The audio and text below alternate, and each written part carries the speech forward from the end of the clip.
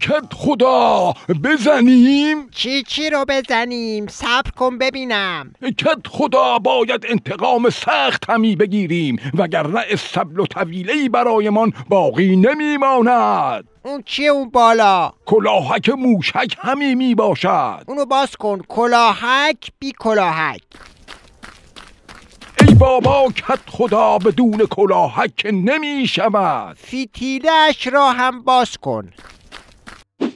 کت خدا فتیله را باز کنیم دیگر فرقش با لول پلیکا چه می باشندی حرف نباشه. حالا بزنیم. نه خیر همگی بیاید اینجا. اینجوری نکنه آهای ما می‌خواهیم انتقام سخت همی بگیریم. نگی نگفتی ما آهای به گوش باش. خب حالا دیگر آماده باشید که بزنیم. یک دو سه. چی چی رو بزنیم؟ برو اونور ببینم. کت خدا چه شد پس؟ بروید خر بیاورید این را بار خر می کنیم که سه روز در راه باشد تا به مقصد برسد.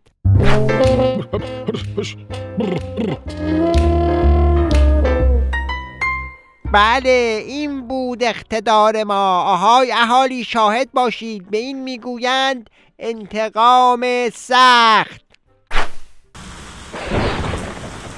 مش صادق میگم خوب شدا عجب انتقام سخت این کت خدای فینیتو گرفتندی. مش وحده کدام انتقام سخت مگر موشکیم به مقصد همین رسید؟ انتقام سخت بخوره تو سر کت خدا. ناودونی پشت بام رو ببین. که با این موشک ها مشکل باران حل شدندی. کت خدا این انتقام سخت نبود. انتقام پرت بود.